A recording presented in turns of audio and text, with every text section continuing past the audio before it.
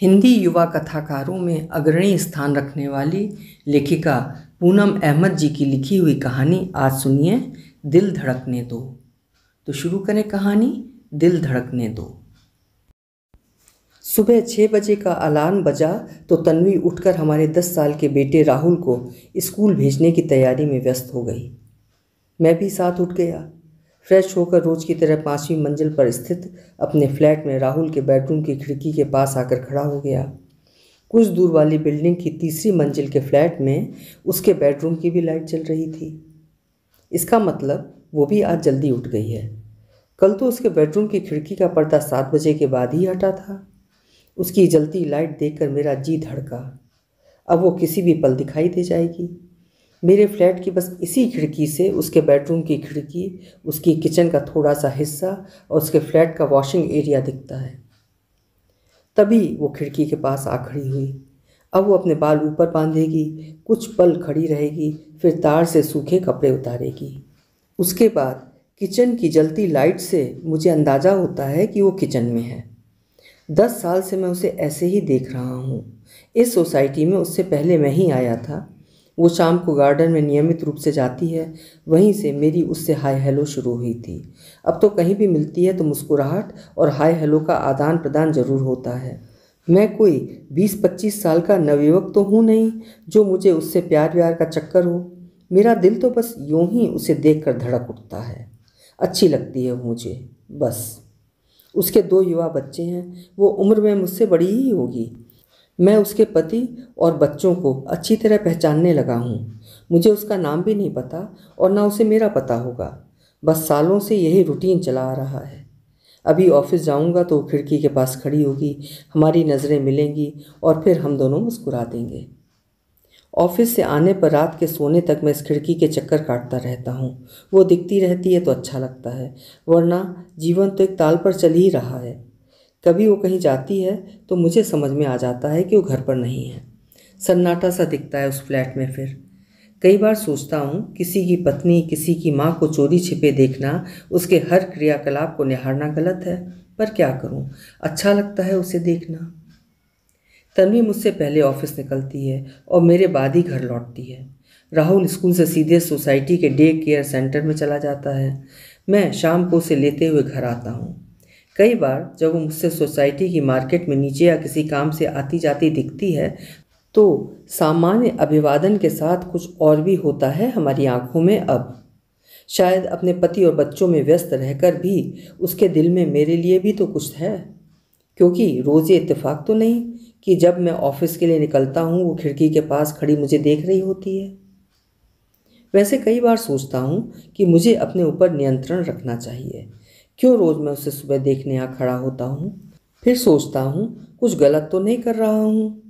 उसे देखकर कुछ पल चैन मिलता है तो इसमें बुरा क्या है? किसी का क्या नुकसान हो रहा है? तभी वो सूखे कपड़े उतारने आ गई। उसने ब्लैक गाउन पहना है, बहुत अच्छी लगती है वो इसमें। मन करता है, वो अचानक मेरी तरफ़ देख ले तो मैं हाथ हिला दूँगा, पर उसने कभी नहीं देखा। पता नहीं उसे पता भी है या नहीं। ये खिड़की मेरी है और मैं यहाँ खड़ा होता हूँ। नीचे लगे पेड़ की कुछ टहनियाँ आजकल मेरी इस खिड़की तक पहुँच गई हैं। उसी के झुरमुर से उसे देखा करता हूँ। कई बार सोचता हूँ, हाथ बढ़ाकर टहनियाँ तोड़ दूँ, पर फिर मैं उसे शायद साफ़ साफ़ दिख जाऊँगा। सोचेगी हर समय यहीं खड़ा रहता है? नहीं, इन्हें रहने ही देता हूँ। वो कपड़े उतार कर किचन में चली गई तो मैं भी ऑफ़िस जाने की तैयारी करने लगा। बीच बीच में मैं उसे अपने पति और बच्चों को बाय करने के लिए भी खड़ा देखता हूँ। ये उसका रोज़ का नियम है। कुल मिलाकर उसका सारा रूटीन देखकर मुझे अंदाज़ा होता है कि वो एक अच्छी पत्नी और एक अच्छी माँ है। ऑफ़िस में भी कभी कभी उसका ख्याल आ जाता है कि वो क्या कर रही होगी। दोपहर तो में सोई होगी, अब उठ गई होगी। अब उस सोफे पर बैठकर चाय पी रही होगी, जो मेरी खिड़की से दिखता है। ऑफ़िस से आकर मैं फ्रेश होकर सीधा खिड़की के पास पहुँचा। राहुल कार्टून देखने बैठ गया था। मेरा दिल ज़ोर से धड़का। वो खिड़की में खड़ी थी। मन किया उसे हाथ हिला दूँ। कई बार मन होता है उससे कुछ बातें करने का कुछ कहने का कुछ सुनने का। पर, पर जीवन में कई इच्छाओं को एक मर्यादा में एक सीमा में रखना ही पड़ता है। कुछ सामाजिक दायित्व भी तो होते हैं। फिर सोचता हूँ दिल का क्या है? धड़कने दो। अब सुनिए कहानी का दूसरा दृश्य। सुबह छः बजे का अलार्म बजा। मैंने तेज़ी से उठकर फ्रेश होकर अपने बेडरूम की लाइट जला दी। समीर भी साथ ही उठ गए थे। वे सुबह की सैर पर जाते हैं। मैंने बेडरूम की खिड़की का पर्दा हटाया। अपने बाल बांधे। जानती हूँ वो सामने अपने फ्लैट की खिड़की में खड़ा होगा। आजकल नीचे लगे पेड़ की कुछ टहनियाँ उसकी खिड़की तक जा पहुँची हैं। कई बार सोचती हूँ, वो हाथ बढ़ाकर उन्हें तोड़ क्यों नहीं देता? पर नहीं। ये ठीक नहीं होगा। फिर वो साफ़ साफ़ देख लेगा कि मैं उसे चोरी चोरी देखती रहती हूँ। नहीं, ऐसे ही ठीक है। तार से कपड़े उतारते हुए मैं कई बार उसे देखती हूँ। कपड़े तो दिन में मैं कभी भी उतार सकती हूँ। कोई जल्दी नहीं होती इनकी, पर इस समय वो खड़ा होता है ना। न चाहते हुए भी उसे देखने का लोभ संवरण नहीं कर पाती। मैंने कपड़े उतारते हुए कनखियों से उसे देखा। हाँ वो खड़ा था। मन हुआ हाथ हिलाकर हेलो कह दूँ पर नहीं। एक विवाहिता की कुछ अपनी मर्यादाएँ होती हैं। मेरा दिल ज़ोर से धड़कता है। जब मैं महसूस करती हूँ, वो अपनी खिड़की में खड़ा होकर मेरी तरफ़ देख रहा है। स्त्री हूँ ना, बहुत कुछ महसूस कर लेती हूँ। बिना किसी के कहे सुने। मैं समीर और अपने बच्चों के नाश्ते और टिफ़िन की तैयारी में व्यस्त हो गई। तीनों शाम तक ही वापस आते हैं। मेरी किचन के एक हिस्से में उसकी खिड़की का थोड़ा सा हिस्सा दिखता है। जिस खिड़की के पास वो खड़ा होता है, वो शायद बेडरूम की है। किचन में काम करते करते मैं उस पर नज़र डालती रहती हूँ। सब समझ में आता रहता है, अब वो तैयार हो रहा है। मुझे अंदाज़ा है उसके कमरे की किस दीवार पर शीशा है। मैंने उसे वहाँ कई बार बाल ठीक करते देखा है। जानती हूँ किसी के पति को, किसी के पिता को ऐसा देखना मर्यादा संगत नहीं है। पर क्या करूँ? कुछ है जो दिल धड़कता है उसके सामने होने पर। दस साल से कुछ है जो उसे कहीं देखने पर, नज़रें मिलने पर, हाय हलो होने पर दिल धड़क उठता है। वो अपनी कामकाजी पत्नी के घर के काम में काफ़ी मदद करता है, बेटे को लेकर आता है, घर का सामान लाता है, कभी अपनी पत्नी को छोड़ने और लेने भी जाता है।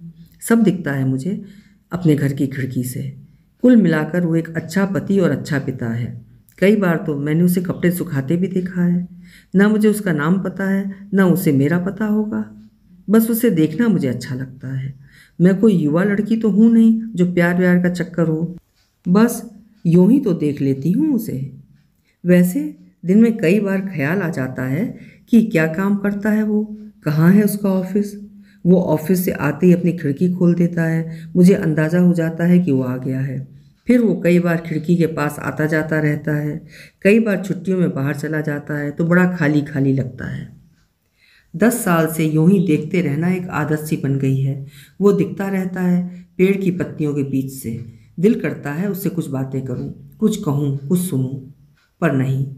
जीवन में कई इच्छाओं को एक मर्यादा में रखना ही पड़ता है। कुछ सामाजिक उसूल भी तो हैं। फिर सोचती हूँ दिल का क्या है? धड़कने दो। ये थी पूनम अहमद जी की लिखी हुई एक बेबाक कहानी दिल धड़कने दो। उम्मीद है कहानी आपको पसंद आई होगी। अपने विचार कमेंट सेक्शन में ज़रूर लिखिएगा। कल मिलेंगे फिर किसी नई कहानी के साथ। आपका समय शुभ हो।